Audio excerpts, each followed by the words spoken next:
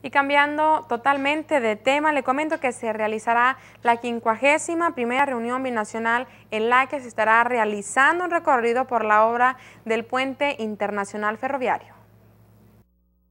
Para el día jueves se realizará un recorrido por la obra, día en el que se podría fijar una nueva fecha de entrega de las obras de acuerdo a la información dada por el secretario de Desarrollo Económico y del Empleo, Manuel García Garza